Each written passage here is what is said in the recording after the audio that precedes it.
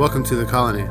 There is a species of wasp located here in Florida that is almost indistinguishable to the executioner wasp. This species is a little concerning when you're talking about sting test. This video is going to be technical and a little touchy. I call it how I see it in the name of education. I guess that's just the definition of a hypothesis. I spelled wrong wrong in the description. Shout out to Nature Nerd Outdoors, you saved me. I have some of the best wildlife subscribers a YouTuber could acquire, considering I'm probably not smarter than a 5th grader. Here's the video that you guys asked for. If you haven't already, please hit that subscribe button and tap that bell icon. Most of you wanted a list of insect stings you will see in the future of this channel.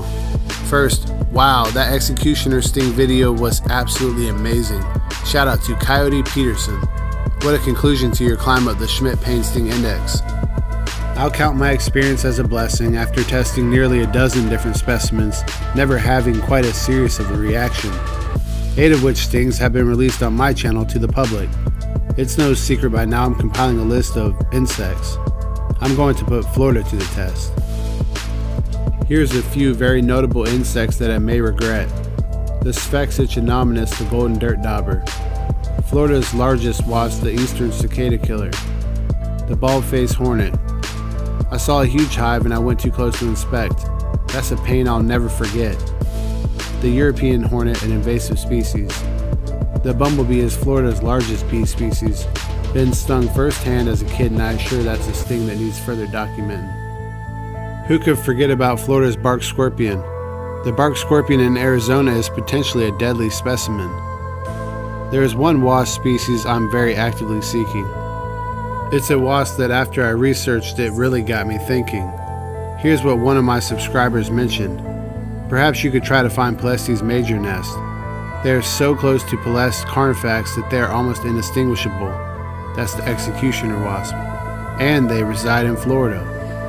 I assure you I've had several requests for this specimen. I have quite a different story. I love Schmidt and his creation, the Sting Pain Index. However, I'm from Florida and there's a lot of gaps.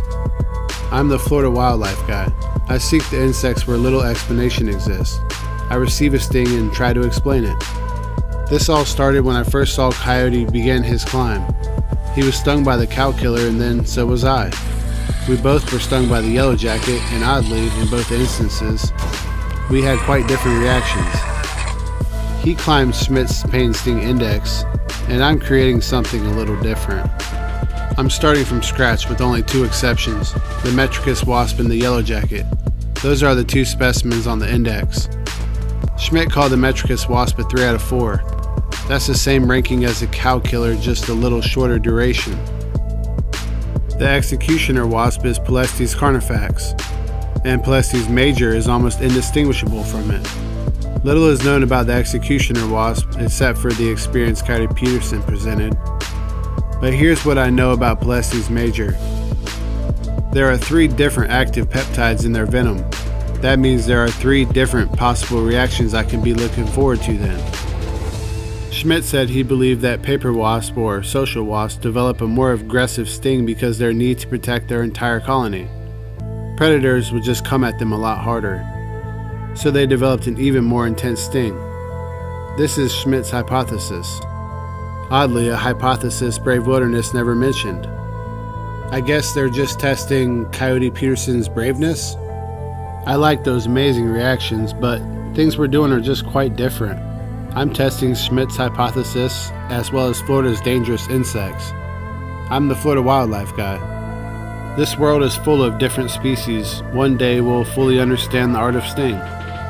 As you all know, I've been actively seeking Polistes major, and I've drove miles and miles looking for it. In fact, I actually found a website on Google that allowed me to pinpoint different photographs that were taken of Polistes major.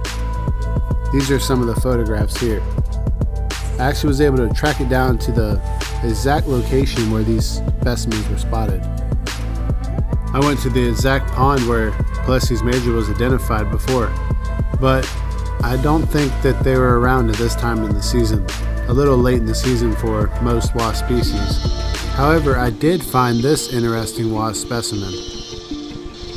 Now I've already mentioned that wasps are extremely important um, and controlling pest populations.